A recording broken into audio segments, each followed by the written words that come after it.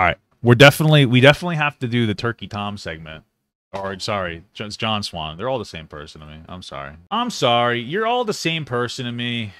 Because I'm old. It's not an insult to you. Well, maybe it is, because John Swan's a little bit of a suspicious character from Among Us, but, you know, that's a whole different conversation that we're about to have. you know what I'm saying? That's the whole point of this. So here we go. We got a video from Jonathan Swanathan. It is called Just Just Gonson. I just can't read. Gus Johnson. Trial by Twitter. Now, here's the thing. I almost said Turkey Tom again. John Swan has a little bit of a rough history in general. I don't know a lot, a lot. My understanding is that um, he's uh, he's tried to go after Dream a bit before with uh, not real evidence. Um, and then he tried to cancel an 18 year old for chatting with a 15 year old. It was cringe chatting, we'll call it. Um, now, listen, if you're part of the Twitter online that thinks that an 18 and 15 year old shouldn't be together, I mean, listen, personally, yeah, I guess I'd, I'd say it was a little uncomfortable. We did like a whole thing of how I would change age of consent before. It was a fun segment. But like, based on society's moral value, like, it's okay. So even if you disagree with the behavior and you're like, yeah, you know, I don't think it's appropriate for this, it doesn't mean that you that it, we understand that society's moral values don't agree with you. You are advocating from a a you are you are the outlier, and that's okay. That's what advocation is called. But you know, you shouldn't be like, oh my god, you know, pitchfork in your hand over an 18 and a 15 year old. I mean, oh my god. Um, the thing is, is that that wasn't the biggest issue.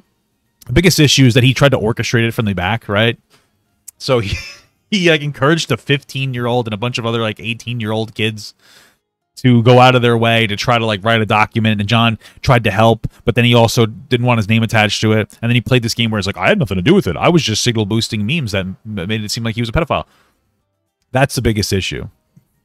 Is that like if the at, at the nobody said Gus Johnson did that. We're talking about John Swan. We're talking about John Swan. Are you fucking behind? Well, what are you talking about bro did I say Gus Talk about fucking John Swan, dude. Jesus Christ. This is what we're talking about. You son of a bitch. You're derailing my segment. Okay? This is the issues we're talking about. John Swan. Okay? anyway, sorry, I'm a little hyped up today. Anyway, Jonathan, back to it. Jonathan Swanathan did these things. Uh, at the very least, he should have like if he had just been like, "Oh, I fucked up, sorry," that would have been fine. He could have even said like, "Hey, I agree. I still don't think it's appropriate. You're wrong based on society's moral values, but it's okay." Thing is, is he tried to put other people up to the task of trying to cancel this kid, and then he didn't want to be attached to it because he did he knew that he fucked up, right? That's the biggest problem is that he's being dishonest. Now, when it comes to Gus Johnson, I'm going to give you a real short recap from what I remember listen, here's here's what this boils down to. I think. I think this boils down to is that when Gus was younger, he was a shitty. He was kind of shitty to his girlfriend, and immature. And I think that moving forward, I don't think that he's going to be that person forever. I think his apology was like typical YouTube bullshit garbage, which makes it come off as like fucking incredibly disingenuous. Um, and that didn't look good for him. But at the end of the day, I wouldn't say that Gus is like a morally dysfunctional, horrible person. I think that he was like immature and shitty, and I think that we've all been there for the most part, right? Doesn't mean they have to like him, but I don't think that Gus is like this, this you know, horrible person. So this video here with uh, John Swan, it reads to me one of two different ways. Number one, the way number one is that John is talking about Gus Johnson as a way to say, like, look, Gus is worse than me. So by association, I'm better, or by comparison, I'm I'm okay. I'm better. I should be able to exist. Or he's pointing to Gus in a way where it's like these two situations, my situation and Gus's situation, are comparable in some capacity, and I got canceled on Twitter for nothing. That's what this says to me, where he's just using this video coming back uh, as a way to kind of just be like, oh, guys, I didn't do anything wrong. But either way, he's back. Uh, fortunately, um, he's back. I mean, I don't really care. I mean, fortunately, he didn't actually succeed in canceling that other person. So that's it. Uh, that's it. Let's get going. Yes, we're dating and it's going really bad, but but we don't want all our friends to know that we are really sad. This is YouTuber and comedian Gus Johnson, and this is a video he uploaded in early 2018, where he and his then girlfriend Sabrina sang about the failing couples on Facebook. Maybe then our pals will think we're full of smiles instead of frowns. the best. She's the one. So impressed. Having fun. I guess uh, I guess they really identify with that segment. When it comes to happy couples, we are couple number one. Our mission is accomplished. We faked another day. And though we're filled with pain, we'd rather stuff it all away. But little did we know that this light-hearted satirical song would become a reality in one of it would become nice. the most unexpected public relationship dramas that the internet had ever seen.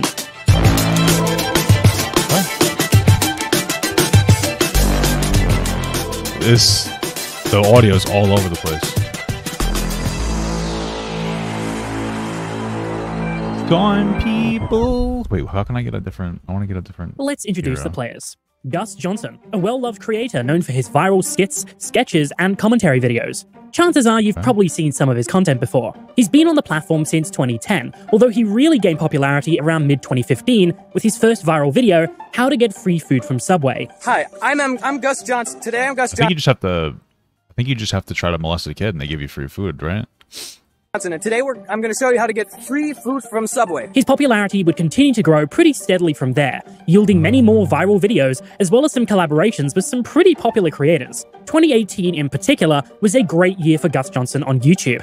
He had countless viral videos to his name, a successful podcast run with co-host Eddy Burback, and an incredibly loyal fanbase following the boys support boys mantra. But obviously, you can only see what a creator wants you to see. And Okay. behind the scenes, things in Gus's personal life were being put under great strain. Okay. It now becomes important to shift focus from Gus to Abelina Sabrina, who, in addition to being a YouTuber and comedian, has also done voice work and currently runs a political Twitch stream. Sabrina began dating Gus in late 2017. Does she really? Does Does she do pol- politicals? Politics? Is that real? Okay, I'm gonna look into that. Interesting. and it didn't take long for them to start creating content together on their respective channels.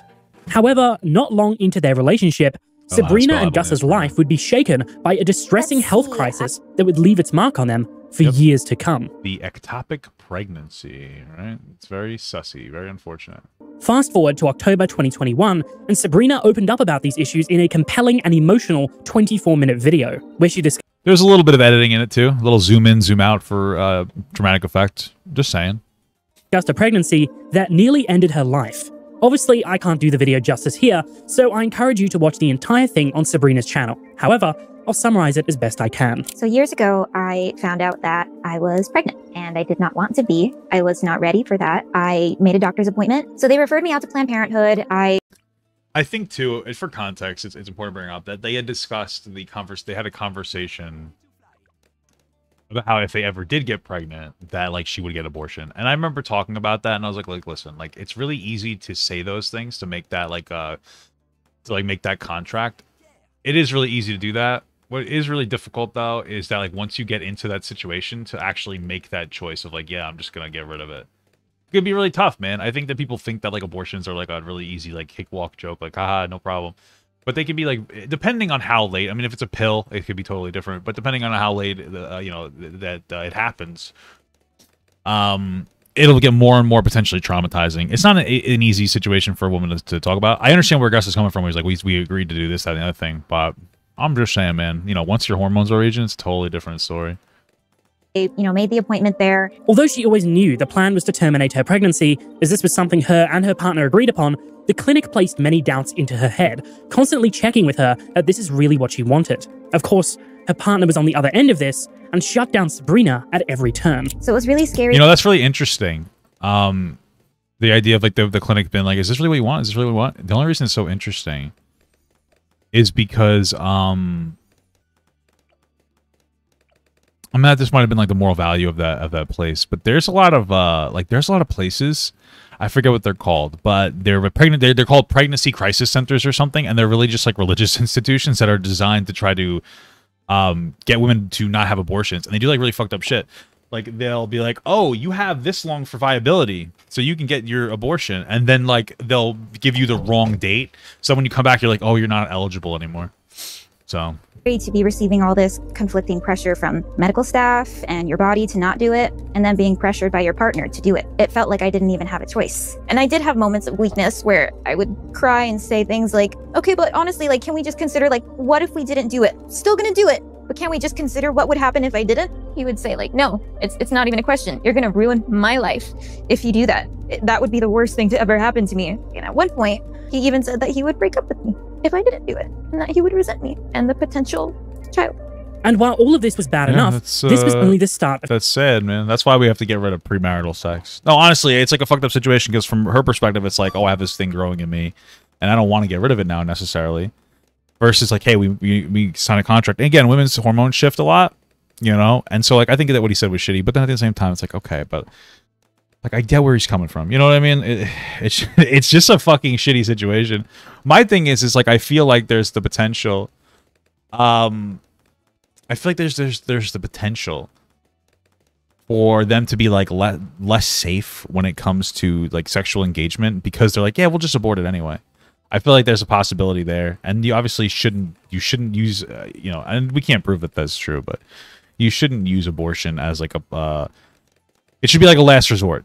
It's like a necessary evil. It's not something that you should just be looking to do, you know?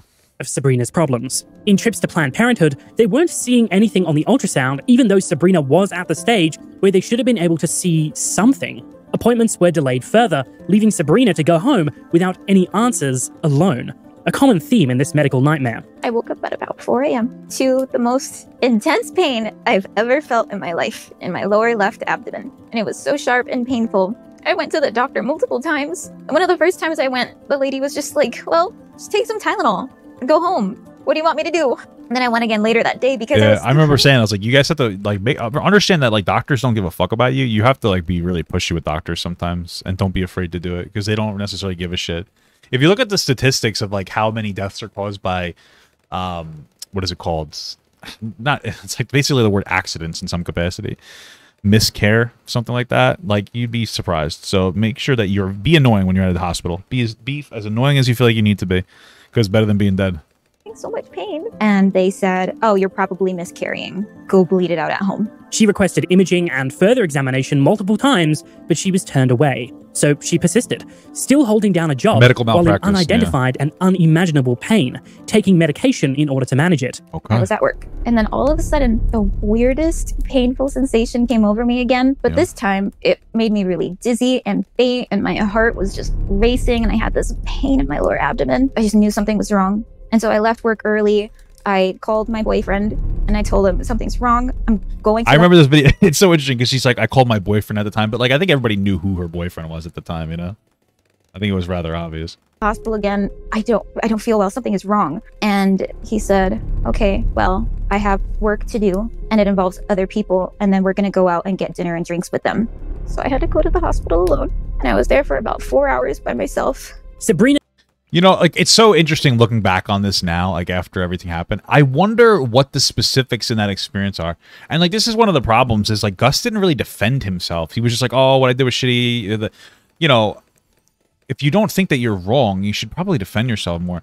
Because looking back at it now, it's like, okay, what does that mean? Like, if was she consistently going to the hospital, and it became almost like a regular in their relationship, so that he was like, okay, like, are you gonna be okay yourself? And she's like, yeah, sure, because I have this thing. You know, how much do we know? You know what I mean? Like, what is the true context? Because like I used to date somebody who had constantly had issues, um, like they had a, an autoimmune disease, and like it's rough, but like you know, shitty situations become almost normalized sometimes. It's like, oh, you're going to the hospital, yeah.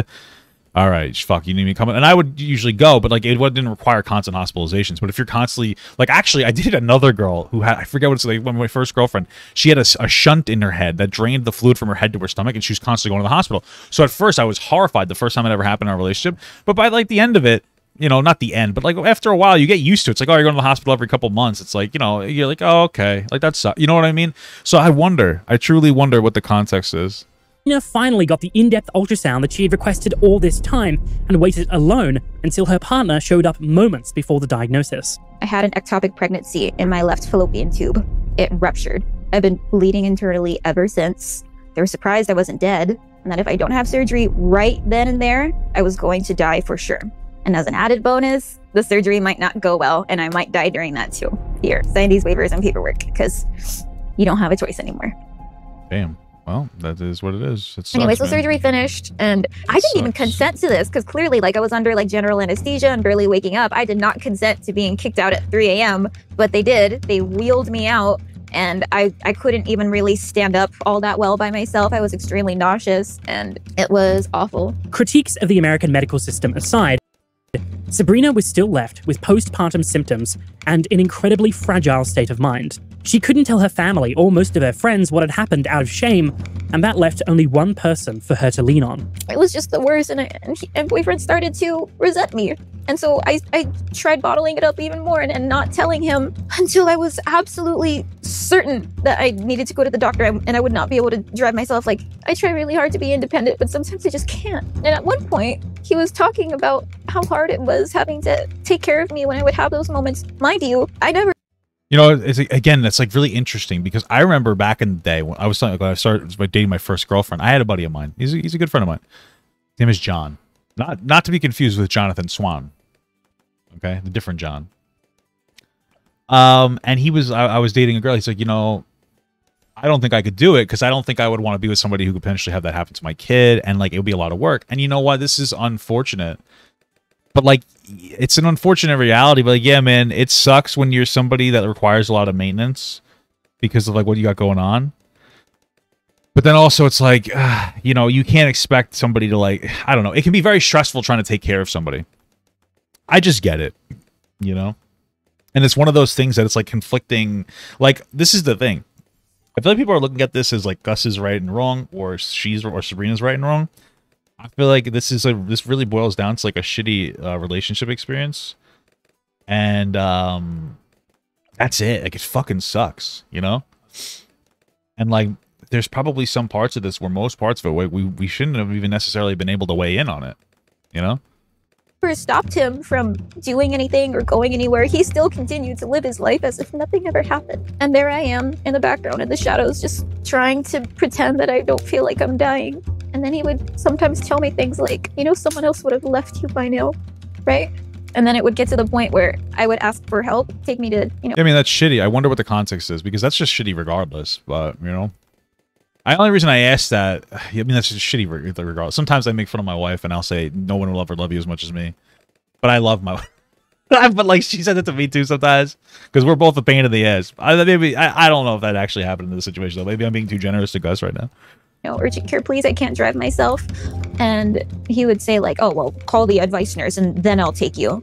And then he would insist on listening to the phone call to make sure that I wasn't exaggerating my symptoms. Or even when he would come with me a few times to the doctor, he would, you know, sit in and correct the doctor on things that I was saying from his point of view because he didn't want me to exaggerate my symptoms. Or it was a lot, but um, it just felt like I had to grow up even faster, and it sucked. It's important to note that Sabrina kept the name of her partner anonymous in this video, but in the hours after the video's Well, release, who's gonna the internet who- who's gonna be like who, who are you talking about? We I think we all knew.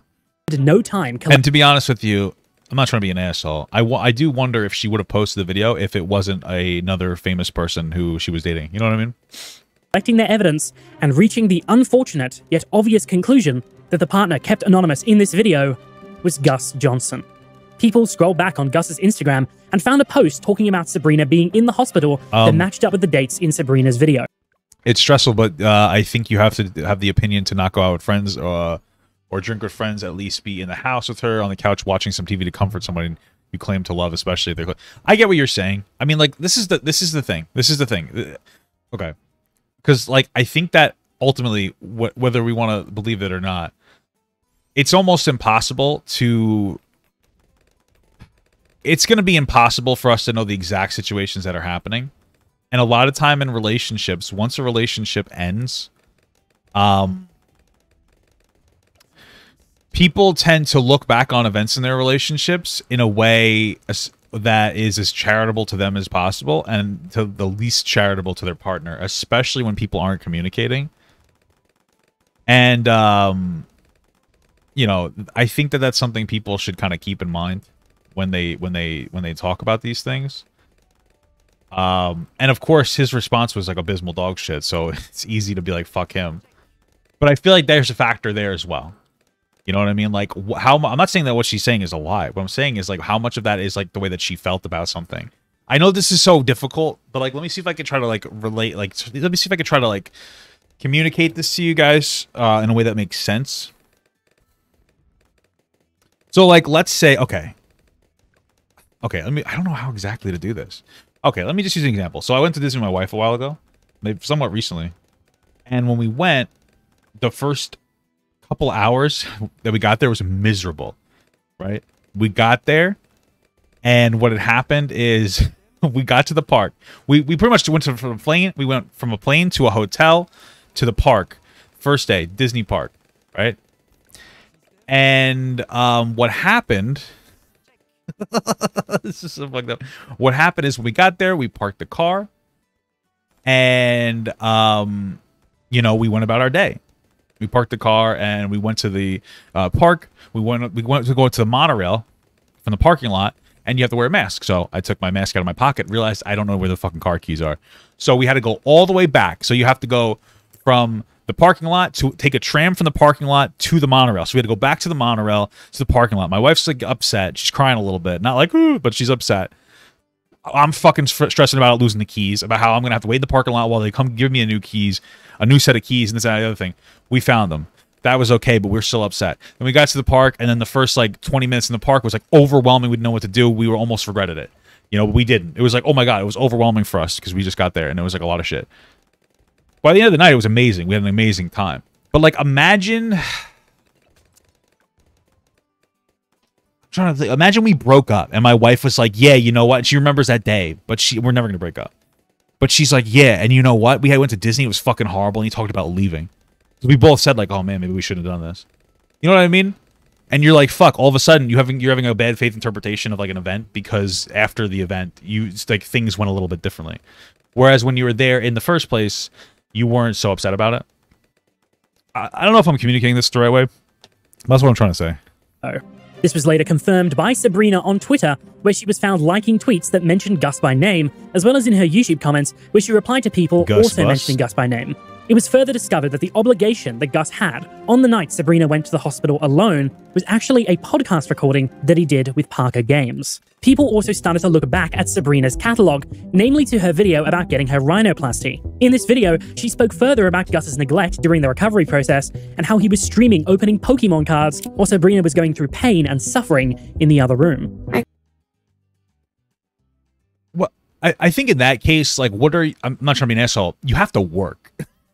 I'm just trying to say, like, you have to work. So this is like the thing, man. So like I okay, so she got home and she had like a rhinoplasty, right? She got home, she's feeling a little fucked up. But you know, you gotta work. So the guy's like, Hey, I gotta go do a job to make money for us. Oh, okay. And he goes and he does his job. Why is this so slow? What the fuck is happening here? Um, I don't necessarily see a huge problem with that. You know what I mean? Like you gotta you, you, you gotta work. I'm just saying. But okay. I'm just saying I don't know if oh wait, that's why this is so bad. Um that's all I'm trying to say, you know? Like I get I can get why like okay, I have to go to work now. All right. You know, like and then he's acting goofy, but like that's his character, right? Um makes sense. just saying. Like Gus helped me fall asleep earlier because I was I was really struggling. And then he hopped back on to go stream, and he was just like, "The second you want me to come back, I'll come back. No questions asked. I'll yeah, I'll be right back. Don't worry." I was like, "Okay." That made me feel secure. And I texted him multiple, multiple, multiple times while he was streaming. So just okay, look, you're almost done? Question mark. Are you coming back soon? What's up? And he would just like say like, "Oh well, I had, I have, I have to do ten more. Like it's an obligation at this point. I'm just." I'm All right, so you're like, "Hey, are you almost done?" That's the difference than being like, "I need you right now." But okay. be a little bit. Within the following days, a creator that was once seen as rock solid began to erode. And with all of this, people naturally started to demand a response. And four days later, It was so bad. that. I'm aware of a It was such a, an abysmal fucking response, dude. It was terrible. Recent video that calls out some actions that I'm not proud of and I want to apologize. The circumstances were incredibly hard and complicated for the both of us, and I can't even begin to imagine how difficult it was for her. We were young and not remotely prepared to deal with all the realities of a long lasting and traumatic medical situation. During the talks, counseling, and therapy we went through together following this time, I came to grips with my behavior and realized my shortcomings, and I would like her to know just how deeply sorry I am. I fully realized what I did was wrong, and I wish I could change how I responded and acted during that time. I've grown a great deal since that happened, and I wish I knew then what I know now. I will continue to grow and learn and strive to be a better person every day. At this time, I'm stepping away from the podcast, and the remainder of this year's live shows will be cancelled with full refunds being issued. I will also be taking some time off from posting and working for a while. You know, not for nothing. Gus Flashy says, sure. Saves just resubscribed for six months. Gus Johnson sus. You know, after listening to that again, it actually wasn't that bad. I remember the Twitter video being really bad. But that actually wasn't that bad. That was actually okay. That was actually a, that was decent. I was like, yeah, I did shitty things, but we were both kind of young. That's what I get out of it. I wonder. Okay, it really wasn't that bad. like I don't know. I wonder what my energy was at the beginning of this controversy. So I remember, I I remember, I remember, I remember after the other part where he did the video announcement. That was like I felt like that was bad. Um, I wonder what issue I had with it. I know an issue I have with it is like I'm stepping away for a while is like kind of like a weird thing to do. Because it comes off as like a genuine, a general YouTube apology. Maybe it wasn't that bad. Unfortunately, this apology fell flat for a lot of people, including Sabrina, who publicly denounced Gus's statement. Gus's close friend and collaborator Eddy Burback also mentioned how hurt he was to find out that there was so much more to the story than what he'd been told over the years. Sabrina responded to this tweet with support. At this point, the majority, especially on Twitter, were on crying during the snow video, you didn't like that. What, do, what does that mean? What do you mean by that? Sabrina's side. But the internet moves on pretty quickly, and people would stay mostly silent on the situation until around six weeks later, where Gus made an unprompted and ill timed return with a sketch about somebody childishly exaggerating an injury for a That was a really bad look coming back. I don't know why the fuck he would do that, dude. He had to have known that. tension and sympathy. Maybe not the most optical sketch for a return. I feel like he may have gotten away with all of this scot free if the topic of the sketch was something else entirely. Yeah, probably. He also posted this on Twitter, where all the hostility was going down, which was probably not the best move. He got ratioed pretty badly. Damn. Naturally, Gus's return got people talking about the situation all over again. The comments on this video were also completely unmoderated, which led to people previously unaware of the situation finding out about it for the first time. All Oh yeah, the video with the mom where um where they were like laughing about the like how hard not laughing, they were talking about how hard the year was. Yeah, yeah, okay. I didn't like that one, yeah. But I'm trying to like look back at this through like a different frame now, and it's like, did I get like did I get this wrong? You know? Um You know what I mean? Like did I get part of did I get some of my energy wrong? You know? Like I because I think back then my energy was like fully empathetic to her, which I think is appropriate. But it's like I think that this really boils down to a really toxic relationship situation or a shitty situation in a relationship. And I feel like these situations are like happen a lot more than we think. You know? So all of this prompted Eddy Burback or I wonder if this is like the way that John Swan is portraying the information to try to make the comparison that Gus isn't that bad, neither is he. I don't know. I don't know. to address the situation on stream, which was promptly clipped up and posted Yeah, to maybe like my the level of frustration I had was too much. It's possible, yeah. YouTube. I mean, I'm, I saw you guys pretty much all assuming it. Like the podcast is not coming back. I don't want to get into private details too much because I that makes me uncomfortable. But if I'm being honest with you, like trust between us from me is completely broken, and I just can't work with him in the future. He knows already. I told him, but I just don't feel comfortable doing it. At this point, the drama had gotten much larger than it initially was, with this specific stream clip amassing over 700,000 combined views over separate uploads. What and when a drama gets that big, it's pretty hard to just What the stream clip of him doing that? What do you mean? ignore it, especially when YouTube viewers begin to find out. Gus yeah, whenever it's paraded on the internet, it always seems worse. Yeah, you know that's one of like the really fucking shitty parts is that like it's so hard to. Sometimes it can be kind of difficult to like get things as right as possible when you talk about shit on the internet because you have so many people yelling, and if the social narrative is in one direction, like it unintentionally like can possibly hit you without even realizing it, and then you're like all of a sudden you're like, whoa, what the fuck? You know what I mean? Uh, It's just so once now that the energy's toned down, like it, it seems it feels a little different. You know? The outrage isn't there. That's like the hardest thing about being like a commentary content creator that like that tries to get it right. Like I don't really give a fuck about writing social narratives. But sometimes like you unintentionally get like fucking drawn in. And that's one of the things that gets like difficult. It's like fuck, I, I want to obviously get like I want to try to be the voice of reason and like the most reasonable perspective. I don't want to just fucking grift for views. So Gus needed to address it one final time, and he did just that around eight weeks later, where he uploaded a video talking about the last few months. Hi everyone. I'm sorry I didn't make this video sooner. I stepped away from social media for the last three months to really reevaluate everything that's going on in my life right now, and this I'm here hard. to talk to you today about everything that's been happening. I think that during that time, I was so close to the situation that I was not able to fully realize and understand the pain that my partner was going through, and I was not able to fully understand the impact that I had on that situation. As the medical situation continued to last for many months with no end in sight, I just there were just times that I just said some stupid stuff and, and some things that that just caused my partner additional hurt. This medical situation happened over three years ago, and we continued to date for a few more years after that happened. And during those few years, we talked about this medical time a lot, and we sought couples therapy together and, and individual therapy, and, and this was discussed at length.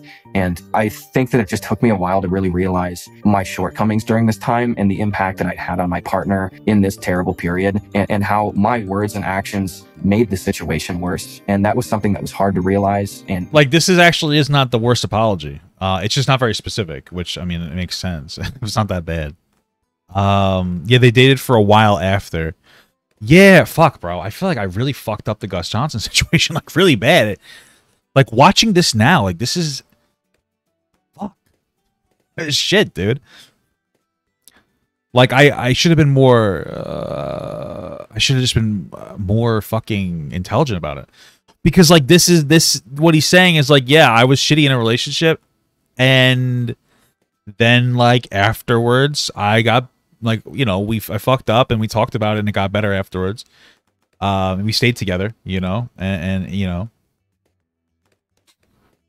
and then they said I, I think though like I think that there were claims that like the the the therapist was just some TikTok person talking about uh, opening up the relationship though so that part I think is shitty from him um yeah, I know this was the bad response. It's not that bad, except for the potential lie about talking to some TikTok therapist. I don't remember if he responds to that though. We'll see. It just made me feel very foolish and remorseful. Got for- L. Yeah, I mean, shit happens, bro. I mean, I could have just sat here and like doubled down and been like, yeah, you know, I'm still right. Fuck this guy. This is a bad response. But like, I'm trying to, you know, which most people would probably do so that they don't look stupid. But you know, It's my behavior at certain periods during that time. My I think the part about the therapist turned out to be a TikTok therapist discussing an open relationship, but that possibly might have been a misrepresentation from Sabrina. I don't remember. I watched an internet a J video.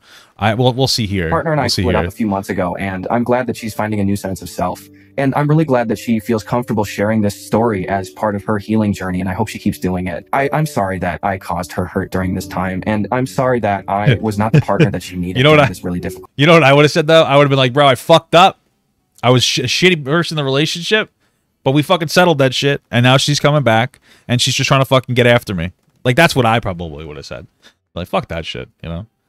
Um, period. And the hurt is extended beyond that. There are a number of people who, who engage with my content or who I work with professionally that have been negatively affected as a result of my actions and my words. And I just would like to extend my sincerest apologies to these people as well. I hate disappointing people. I hope that my former partner can use this moment in time to to heal and, and find some peace. And I wish her the best. Despite the obvious inconsistency with Gus saying that he spent three months off of social media, this was honestly not a terrible response. He took responsibility for his actions and didn't try to blame anyone else for what happened.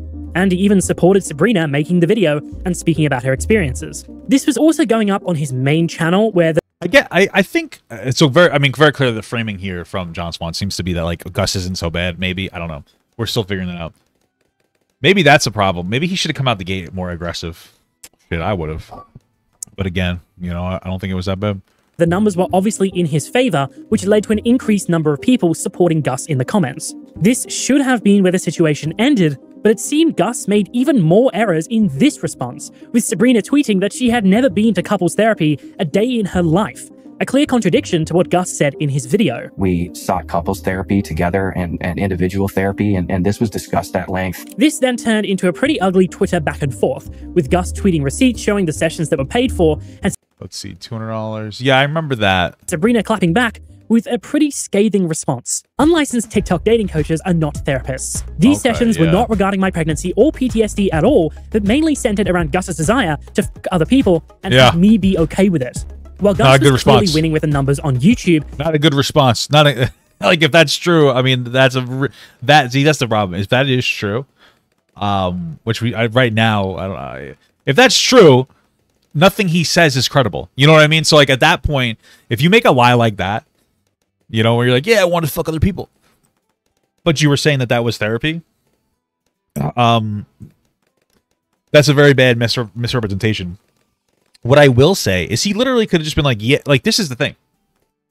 If he had just said like, yeah, I was shitty, but we moved on from it and we kept dating and I tried to better myself, that would have been fine for that would have been fine. You don't have to always throw a therapist in. Maybe that was my issue. Everybody talks about going to a fucking therapist every time they do something stupid, but like what does that mean? I'm gonna go get help. I'm gonna go see a therapist. But like for what? And then we have another example of like a YouTube apologist person potentially using like a, the therapist as some kind of like um get out of jail free card. So it was pretty clear where people's allegiances lay on Twitter, with Sabrina brutally ratioing Gus's tweet. She did later delete this for reasons unknown, but by that Why? point, the further damage to Gus's image had already been done. wait, why did she delete it though? If it wasn't if it was true. Shortly after, Sabrina posted her final statement on Twitter. She established that she never wanted to vilify Gus, but that she just wanted to share her struggle, and according to Sabrina, Gus never attempted to reach out to her privately. She also felt that Gus's apologies had not been sufficient and that he did not represent the situations fairly, adding that she needed to accept that true accountability may never come. Well, what does that what does that mean to her? I wonder. Like, what does it mean true accountability? Like, what does she want from him? I wonder. instincts thus far were to correct the record, but it hadn't given her the closure that she was seeking, so she intended to no longer engage with the topic. Since Gus also indirectly mentioned Eddy Burback in his response, Eddy also streamed a little later where he addressed it one final time. What is? I wonder what. um I wonder what would me- make her feel satisfied with the situation. Like, what did she feel like she needs in order to be able to get closure? Like, what does accountability look like to her for Gus? I wonder. I mean, that's. Did she ever state that? I feel like that's a really important question. Probably because his chat was being spammed with people asking for his thoughts. I feel like I was put in a position, I was streaming an hour later, and there's an apology, kind of, sort of, to me without mentioning me at the end. It's Oh, not enough for me, but Oh, I don't goodness. need more. I don't want more. So I don't expect it of frick, him. I don't bro? want it of him. I want to keep moving on for it. And this would really be the last thing I'd say because it's just like I don't I don't want more uh, from this. And you guys have been cool and we've been enjoying the stream, but it's like this weird elephant in the room that I feel like I had to address because I was I'm streaming an hour later. This clip is also uploaded to YouTube and got over 400,000 views. For a lot of people, just seeing how done Eddy was with Gus and the whole situation actually held a lot more weight than any of Gus and Sabrina's responses. Eddy was a close friend of Gus, working with him on content and their collaborative podcast for over three years. People argued that he wouldn't just drop Gus completely if it wasn't serious, and the fact that he wanted nothing to do with him really stuck with people. These statements were seen by millions of eyes, and if Eddy had stayed silent, I think the situation would have stayed rather small and Gus would have gotten pretty minimal backlash. However, since the controversy first began in October, Gus has lost a total of 300,000 subscribers. Wow. Conveniently, very close to the amount of people subscribed to the Gus and Eddy podcast. Over the coming months, Gus would power through, continuing to upload sketches despite the subscriber loss. And although his views weren't as high as they were before, he still managed to collaborate with some other YouTubers in the process. But in the background, people were still talking, speculating, and calling Gus some of the worst names in the book.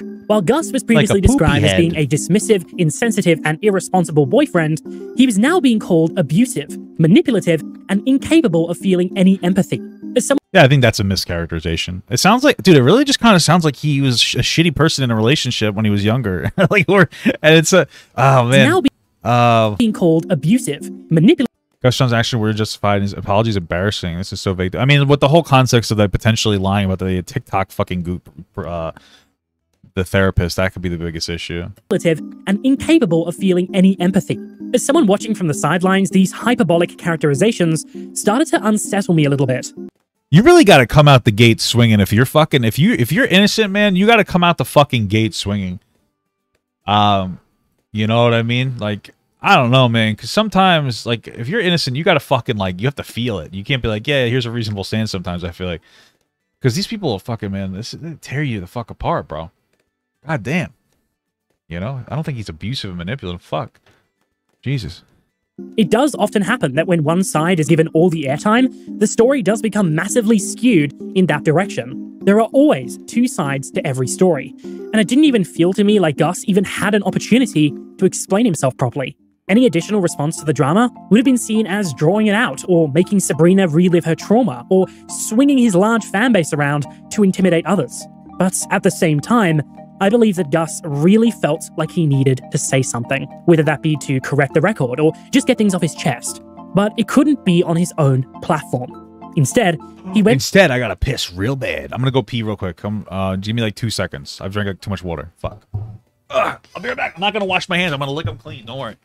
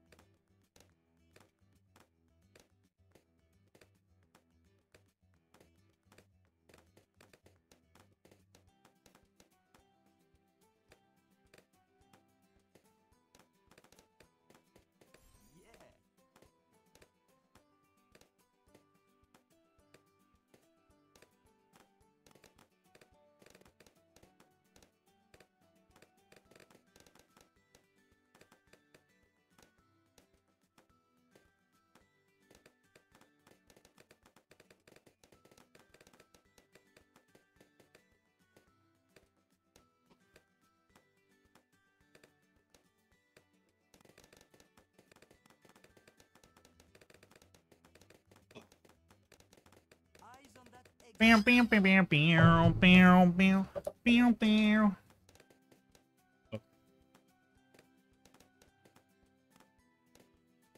All right.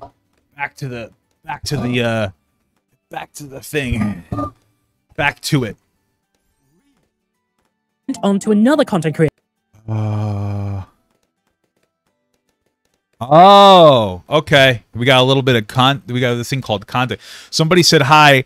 I might be late, but she chose the therapist and only deleted her tweet calling him out for this after he made it clear that the therapist was her choice.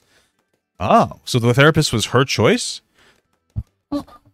Was the therapist her choice given the context of like talking about whatever? I, I wonder like were they did they expect to I, I wonder okay, this is gonna be weird. I wonder Okay.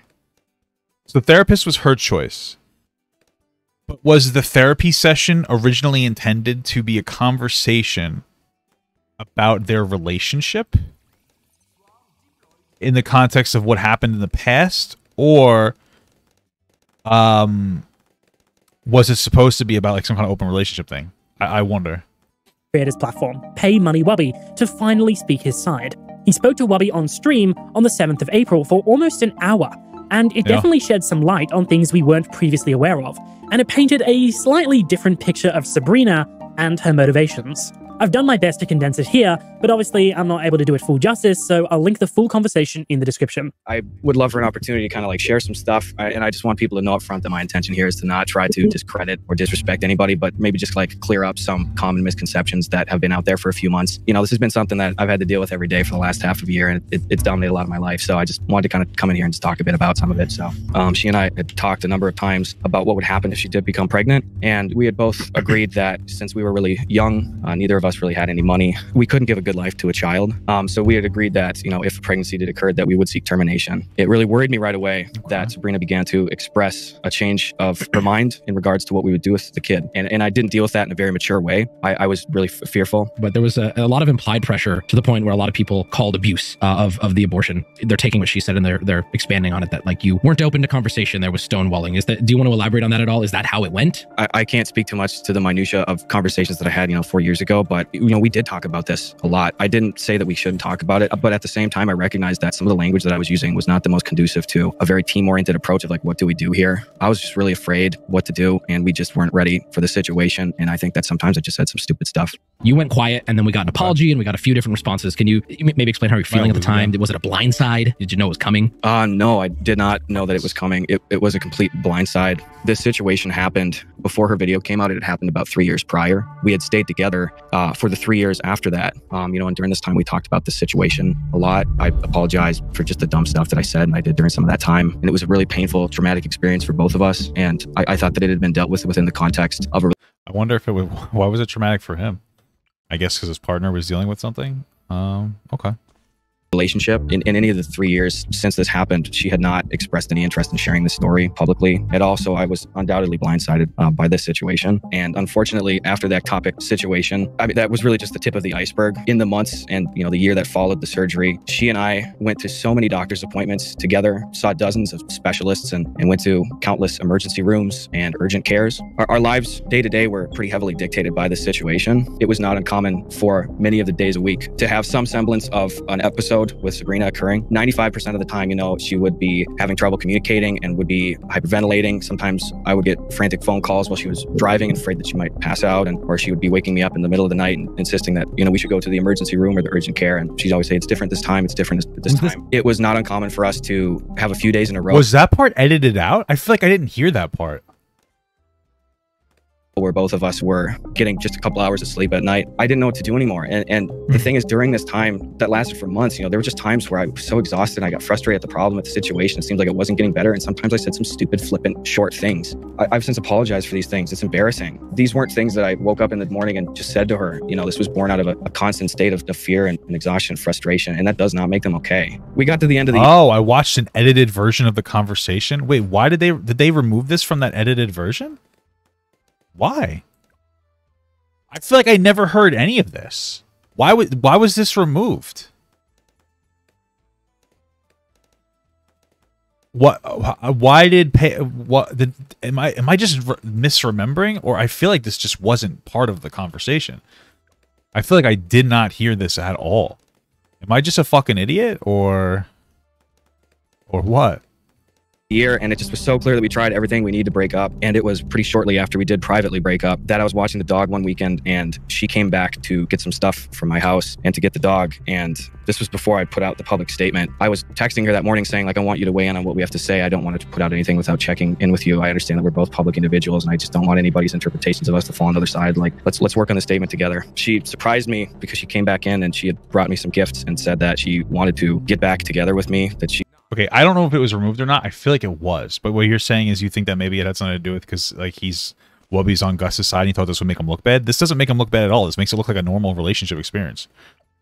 Like was sorry that it didn't work out and she didn't want to give up and she said she wanted to come back into my life. And i just looked at all the effort that we had put in in the last year and i just thought that we had really given it as much of a try as we possibly could and i just said i'm sorry like i'm not i'm not there. I don't think it's a good idea. And she screamed at me and said you know you put out whatever you want but don't say it was mutual. That's a lie. And she slammed the door and left my house. Um, and then really shortly afterwards this video came out.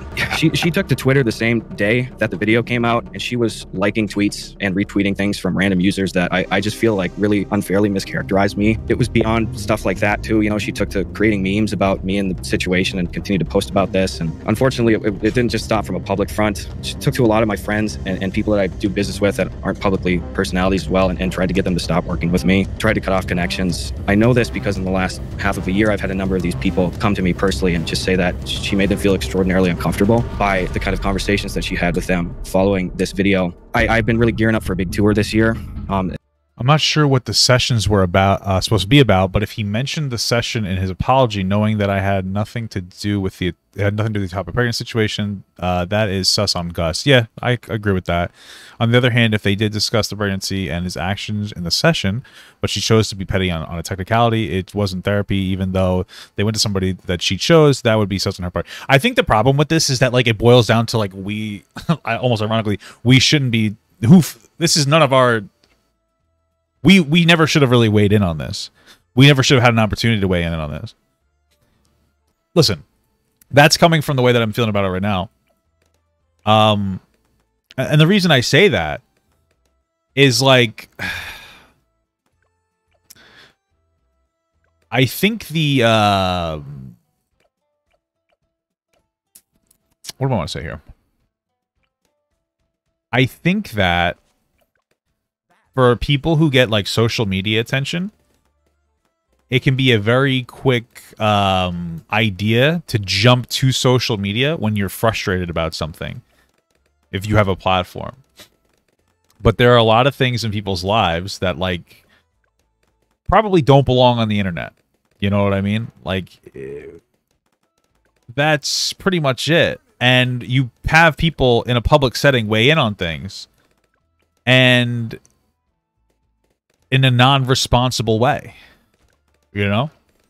Um and it kind of just causes this. And i'm i'm telling you like you know i would say based on this that i i have to say i think i you know i don't know. I mean unless this is just like masterfully fucking edited to make gus seem really innocent um you know i think that a lot of people i understand why like pete sabrina and her friend uh, her friends would be on like the, his her side or whatever because they're friends with her and like they are privy to her interpretation of all the events whereas gus and his friends are uh, privy to the interpretation of um, the events from his perspective as well. But like we're all bystanders and we're weighing in in this way where it's like oh my god i believe this person i don't know. It gets a little bit toxic.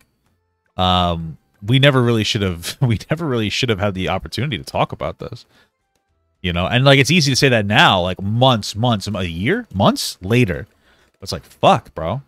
Like goddamn. Like I think that like I I think we fucked up. I think I'm part of that fucking up. Uh, like I feel like I'm a fucking idiot. You know what I mean? The only thing I want to say is like I you know I never meant to say anything. It's like you know you try to do that you try to get it right, man. Sometimes maybe you don't. And I'm not even saying that like Sabrina's a piece of shit asshole for this. I'm just saying that like this is like I said this is two different. Um, this is like this is a situation where like you have um two different people that had a, in a shitty situation happen and they're to have their interpretation of events based on the way that they felt and they're to filter their response to those uh, those you know that way. And like we should all recognize that and kind of keep that in mind for context and this probably never should have been like public in the first place. Um and that involved working with and collaborating with a number of folks. We put a lot of time and, and energy into this, um, and it just got to the point with my expectant hiatus during this whole situation uh, that I just I didn't have enough time to really dedicate to this tour and stuff, and I had to cancel this. Um, it was probably a few weeks ago at this point. I, I, announced on Instagram that I had to cancel the tour, and then without about an hour of that, she she tweeted out that showbiz baby um, with an exclamation point on there. With uh with regards to Sabrina. Dude why didn't we i swear to christ I, I didn't hear any of this. Am i just a, dude am i just fucking an idiot? Is this just all the stuff that wasn't put in the original video? Like what the fuck? Video, do you have any you kind of touched on this briefly, but I do just want to make sure I ask it directly. Do you think that she had some sort of intent behind it, whether it be the video or her activity on Twitter, or do you think all of it was just her way of sharing her truth as a way of healing? That's a really tricky question. I think that given all the context that I laid out here, Mhm. with her not uh, expressing to me that she did want to share that previously to this, this was never something that was talked about. It was immediately after a breakup, and it was immediately after her trying to re-enter in my life, and then me declining that. It, it's hard to think that of somebody that you spent four years of your life with. I don't want to think that of her, but it's very difficult for me and the behavior that she's exhibited in the last five months. It's hard for me to draw any other conclusion other than the fact that she was extraordinarily upset with me and wanted to try to damage me in some regards. And again, I am not saying that to try to discredit her situation and what she went through, Mhm. but it really seemed like that was utilized as a way to try to pull some terrible out of context situations and tack together a really scathing review of a person and their um, reputation. This interview was definitely shocking to listen to. Wow. Well, shit. Well, damn. Well, damn. Hearing Gus's side of the story, which at this point had been completely ignored, definitely added a lot more context to the situation, and again, I would invite all of you to watch the entire thing linked below. However, despite what anyone might say, Gus definitely flung a lot of mud towards Sabrina in this interview. He presented Was a that in the video? We just didn't. Fu- Dude, I must be an idiot. Okay, well, a lot of claims that obviously don't have any evidence backing them up, so you pretty much just have to trust Gus's word. I understand well, I mean, that kind of goes back and forth for both of them, right? I mean, it's kind of he said, she said type of a deal. Frustration about something that, from his perspective, was an intentional attempt to damage his career, but I would have appreciated a little more of a measured approach from him, or even from Wubby, when these claims were made. Despite all of that, though, I don't know, man. I think that he should have came out the fucking gate with that information. Honestly, but okay. So it's definitely worth a watch. For a short while after this interview was up and released, the general public seemed to be on Gus's side again. People were sympathizing with him in the comments, and part of that probably had to do with Gus going on Wubby's stream, someone that had been critical of Sabrina's video in past streams. However, this peace didn't last for long, as Sabrina had a few things to say and address about Gus's appearance, which she did a few days later on her own stream. However, instead of watching the Oh. conversation from start to finish, she picked and chose what to respond to, not even playing any clips from the interview. She even presented some new information about Gus in an attempt to drag him down even further. There was a moment where after my surgery, like maybe like maybe more than a few days after my surgery, I, I don't remember, but it was certainly shortly after the surgery.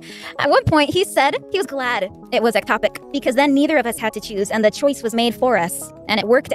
Oh, that's fucked up, but I mean, that's really fucked up to say. But I feel like given the context, it's like there's different ways that you could say that. Like I don't know, man. I come from a family with like really dark humor. So like let me give you an example. My aunt died, and uh, like one at one point my aunt had passed away, and um, you know my family started playing hot like they were playing fucking hot potato with her with her with her ashes. She was cremated before the burial. So like that's the kind of joke that like I would potentially make. Not to be an asshole, but like as like uh, ah like trying to be funny to lighten the mood up. You know what I mean? I'm just saying I'm not saying that's what he did. He might have been like, yeah, I'm fucking thank God this fucking bit. You know what I mean? He could have been like that, or maybe he wasn't. I don't know. I mean, it's hard to tell exactly. Uh, you know, I'm just saying. Uh, maybe I'm, I'm just saying. Like it's possible that he wasn't, uh, you know, trying to be rude about it. Maybe he was. This is the problem when you got back and forth. So like, where's the context? You know? out.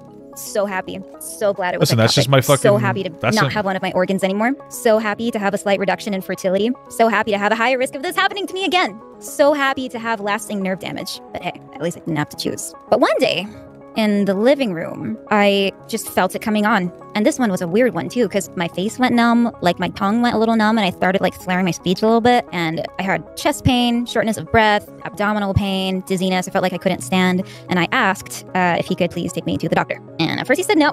He said to call my insurance's advice nurse. And then if they think that it's severe enough, then he'll take me. I was Okay. upset, understandably, but I left to the other room and I started making the call anyway. Had the phone to my ear, and then he came in and he insisted on listening to the phone call. I said no. And he tried to take my phone away from me. So I wasn't gonna let that happen. And so to try to keep my phone with me and on my ear, I tangled it into my hair like this to try to uh-huh. keep it there, thinking, You're not gonna touch it. You're not gonna touch me. And I was wrong. My hair got pulled while trying to steal my phone from me. Hard. And that's when I just like absolutely broke down sobbing because I did not expect that. As with Gus's Yeah, claims about pretty Sabrina, these obviously have no evidence to back them up, and it all comes down to whether you believe the individual person or not. And personally, that isn't really a standard that I like to use when judging the validity of allegations. In the stream, Sabrina also acknowledges that she did ask Gus about getting back together, but she had some issues with his retelling of events. About a week or two weeks after we had broken up, I had to fly to Mexico to my sister's wedding. My life was like so different. Like one week we were looking at houses to get together, and the next week um, I'm living alone in a hotel trying to handle my PTSD because one of the things about it was that I couldn't sleep alone. So I was Does she um? Does she go to a therapist? I'm just curious. Does she see a therapist for this stuff? Um, I just I wonder if she's is she open about that? Because that sounds like shit. I get that. So it sounds like she's gonna say like, yeah, you know, I want him to sleep with me because it's part of like my shit. Makes sense. But you know, if you broke up, you know, he can't be responsible for you anymore. I'm just saying. I'm not trying to be rude.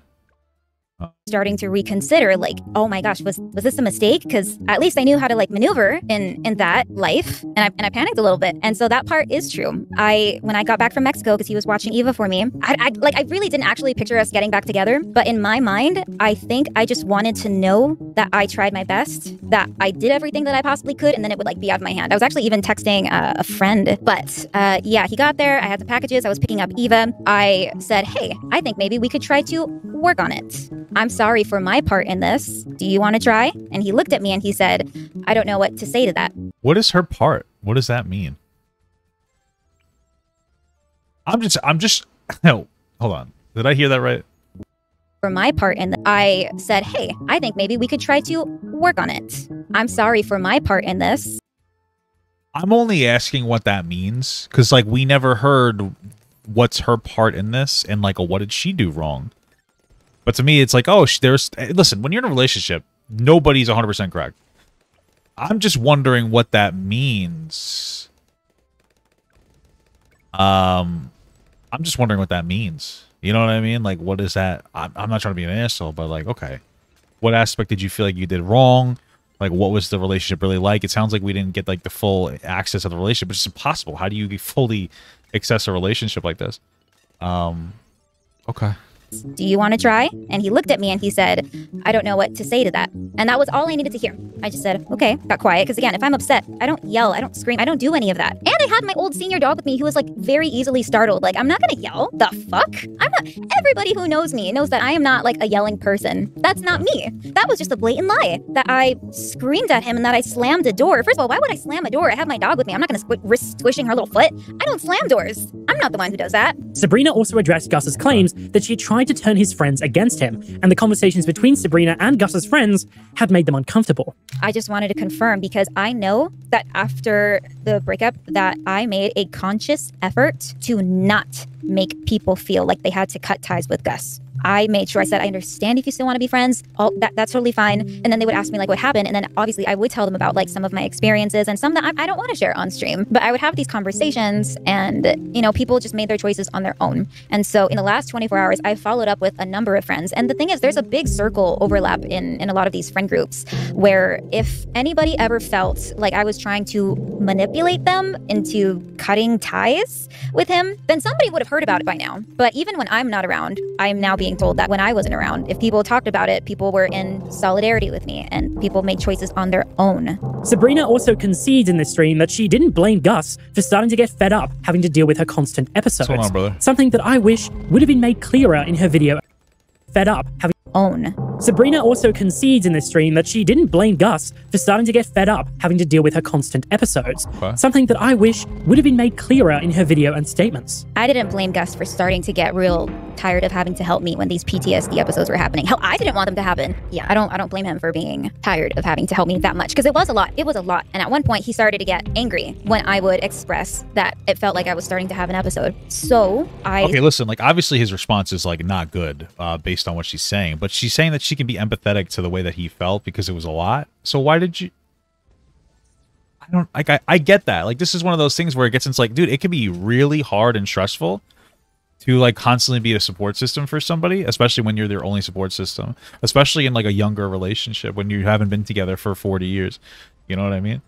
Or, or like an extended period of time. You know what I'm saying? When you're still in like that that that the initial aspect of the relationship. So I just I wonder why make the video in the first place if you understand where he was coming from, and then the responsibility. Well, she's just expressing her truth. Like okay, well how come you didn't keep- bring those things in for context? I'm just I'm just saying, dude. It just feels like it just like when you look at it like that, it's like, wait, why did you, you know, if you could understand why, then why, why? Um, I'm trying to be a fucking asshole. I just know relationships can be really difficult, and you know, obviously she has something that she has to work on, or rather, there's something that she has not to work on. She has like the situation with like you know really you know tr- like trauma and everything, and I get it. That's hard, but it, you know that could be really tough to, to engage with. And when you're dating somebody, you know, you're dating them to feel them out. And if that's too much, I can understand why somebody would walk away from that or get really frustrated. Um, especially when like it feels like you know it seems like the doctors maybe were were failing her uh, around them as well. It wasn't just like you know he wasn't just being a piece of shit. It's just I don't know, man. Again, this we probably never should have waited on this in the first place. Like this just shouldn't have been something that was public. I, I feel I, I do. I, I um I started to try to keep it to myself and I would try to drive myself to the doctor. And most of the time I did. It was only when I couldn't that I really, really, really asked him to, to like drive me. Um, Nick, Nick is not green was a friend of both of theirs and says some stuff. Sabrina told their friend group that I've never seen anywhere else. Not sure if it's covered in this video. It might. Oh, I get what you're saying. I don't know if it is or isn't. But like I said before, you'd expect somebody that sides with Sabrina to like take what she says without, you know, listen, people are going to choose sides, and the, each person, I don't even think either of them are representing themselves uh, in a disingenuous way, but they're probably not going to represent themselves the exact way that actually happened. So you're going to get very biased perspectives, and people who agree with one side are going to have the perspective of that one side. And people who agree with the other side are going to have a perspective of the other side. You know what I mean? Like you're never going to be able to get like an actual solid, accurate, like, oh, this is exactly here, there, and everything people are going to choose sides, you know, based on their history and, and uh, you know, in general and the way that they uh, perceive different events and their potential ability to be able to identify with particular situations.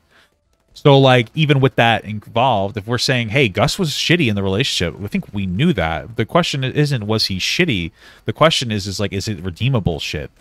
You know, like was he shitty because he's a malicious piece of shit, or was he shitty because it was a relationship that was really hard for both of them, and they just didn't happen to be compatible with each other based on like a, a series of dis- different situations? I mean, that's the question that I, I think is a little bit more relevant there.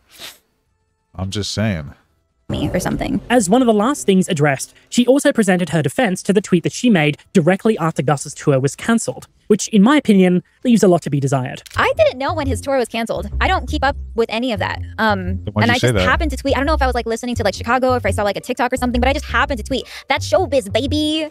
Oh, I that's not true. I just don't think that that's that's far too convenient. like I just don't believe that.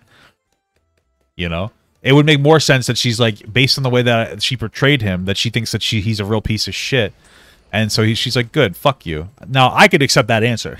I would accept that answer. I'd be like okay yeah sure if that's your perspective like fuck you. You're a piece of shit. I'm happy that you're failing in life. You know is it right? I don't know but like whatever. I can get that. But i don't believe that. I don't really believe the what she's saying. That oh it's completely irrelevant. I i don't believe i just I, it's just almost impossible to believe. It's too convenient diet. I didn't know when his tour was canceled. I don't keep up with any of that. Um, and I just happened to tweet. I don't know if I was like listening to like Chicago, or if I saw like a TikTok or something, but I just happened to tweet. That's showbiz, baby. Like, like I, I guarantee you, like, bro, like in this situation, she's got her and her friends fucking like uh, scouting, or even followers of hers watching Gus to give her information, like what's going on here, what's going on. I, you know what I mean? Like, come on, I, I'm just, I'm being, like, come on. I'm not. I've been around the I've been around the block a few times. I know a little more than that. I'm not that stupid like eh, 1920s kind of kind of vibe. But I didn't realize until he that. said it like in the interview that like I guess that tweet came after he canceled tour. I had no idea. I don't I don't keep up to date with him. Like I am purposely trying to keep all of his stuff off of my feeds, like out of sight, out of mind. And it has been great. It has been so helpful. So that one actually kind of made me laugh. I thought that one was pretty funny. I just don't showbiz baby. After this stream, I just don't think that's an honest interpretation from her, but okay. That's showbiz. That's showbiz, baby a final video by a friend of Sabrina's, Nick is not green, was released. Right, this video went over the interview between Gus and Wubby, and it later became incredibly popular, garnering over 600,000 views. Ooh. However, as someone who was actually leaning towards Sabrina's side while doing research for this video, I felt that Nick's video uncharitably clipped a lot of the interview and drew many conclusions that just weren't fair at all. I actually watched both the interview and Nick's video for the first time right after each other, and I just disagreed with a bunch of the framing, especially. I feel like this may have been a spur of the moment thing that he wrote and released, and he probably should have had someone more neutral look it over. I 100% understand that he wants to fight for his friends, but I believe it's also important to recognize that as a friend of Sabrina's, his view could be pretty biased, and you yeah, have to keep sure. that in check while making videos like these. And indeed, we as viewers also have to be vigilant when watching videos by people who could be biased as well. I obviously don't think Nick is a bad guy for this, but I thought it was something that was important to mention since his video is pretty much the last thing I've seen on the situation. I invite you to watch both the interview and Nick's video back to back and put on your critical Bro. thinking glasses because I'm sure those of you at home may see some of the issues with it as well. I just want to say it's very interesting to listen to him be reasonable when he's so unreasonable about the situation where he tried to cancel that fucking kid for talking to that 15 year old when he was 18. Like it just feel like where what's the reasonableness rooted in? You know what I mean? Like what the fuck? What is you know what I mean? Like it just seems like a little off to me. Um. Imagine he hadn't like been chasing a story with that other guy and he just fucking created this video. He probably would have got a lot more views. On the internet, everyone feels like they need to take a side. People are being pulled constantly to one direction or another by creators on different ends, constantly fighting for their opinions and attention. But the truth is that sometimes there is no clear answer as to who is in the right and who is in the wrong. It's okay to not take a side. And I want to reiterate that with this situation as well. When I started researching this video, I'll admit it, I was expecting it to be a clear cut situation of Gus being the terrible abusive boyfriend and for that to be the end of it. But the more I read, the more I watched, and the more I thought, I realized that there's no way I could call him that. Nothing in this situation is easy to understand, and anyone telling you that there's one person who is the guilty party is simply wrong. This situation essentially boils down to this. Four years ago, a young couple in a fairly new relationship was shaken dramatically by an unforeseen medical event that no one could have prepared for. The failures of the doctors and the medical system led to the issues getting worse and worse until it exploded quite literally in the worst way possible. The trauma from that relationship affected not only Sabrina with PTSD from the experience, as well as panic attacks and postpartum symptoms, but Gus as well for having to deal with all of it. As Sabrina states, all of this was a big burden to put on one person, and you would expect frustration and even anger for having to commit so much time to all of this, especially if it kept on happening for many months. I can totally understand that in all these moments of frustration, Gus may have not said the best things. And while that doesn't excuse what he said, it does become more understandable as to why he said them. That, of course, doesn't mean Sabrina can't be upset at those things. I think anyone would be in this situation, and she's definitely allowed to open up about them. But the way she did it made it look like she was coming after Gus and trying to ruin him, That's while true, trying to protect herself with any plausible deniability by not mentioning him by name. I think she could have executed her videos and responses better, especially since Gus didn't go on the attack at any point prior to Wubby's stream. For anyone on the internet to pretend I wouldn't they really call Wubby's stream an attack. I, I think that's just him defending himself. Uh, you know. would have acted perfectly on either side of the situation is just lying to themselves. No one except for Gus and Sabrina knows all the ins and outs and complex emotional responses that was involved in this private relationship. And bringing it public just gives people online the opportunity to speculate when most people don't have any clue what even happened. The more people talk about this, the more messy it gets, and the less answers we have. Gus and Sabrina's relationship has two individuals and two sides. There isn't a clear winner. So why do we have to take one? Thank you all for watching, and I'll see you guys next. So why do we have to take one a winner? That last question threw me off a little bit. Okay. There's no clear winner, so why don't we have to take a winner? I think that they meant to take a side, but okay. Bye bye. Okay, good, good. Uh, that wasn't too bad. I think that was my first John Swan video that I've ever seen. It wasn't too bad. Personally, like I said before, with the whole him trying to cancel somebody, um, not good optics. Um, you know, if he gets his shit together and stops fucking around, maybe he can Uh, uh, maybe he can come back. Thank you so much for watching, guys, and another special shout out to all my Patreon and Twitch subs. If you'd like to support this channel further than you already have by just watching the video alone, go down to the links below where you can sub on my Patreon, which will allow you to get your name on this beautiful black wall. uh, or you can go to the Twitch page and you can actually use a free Amazon Prime sub, if you have Amazon Prime, to subscribe. Thank you very much, guys. Take care.